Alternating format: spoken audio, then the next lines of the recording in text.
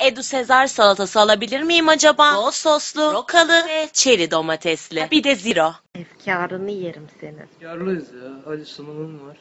Can bilinir. Sikerler. Tamamdır. Selim mi? Kızım bırak o Selin'i ya. Ben konuşmuyorum artık onunla zaten. Bence sen de konuşma. Sürekli seni arkadan atıp tutuyordu. Tabii canım. Oo. Tatlım sen niye denize girmiyorsun? Kanıyor mu gerizekalı? Günaydın baba. Saat 12 mi? Eda'yla sabaha kadar ders çalıştık. Uyuyorum. Bir önceki gece. En çok sevindiğim iki olay. Bir, küçük olduğum kızın yazdığı çocuğun bana yazması. İki, Elena'nın Damon'ı seçmesi.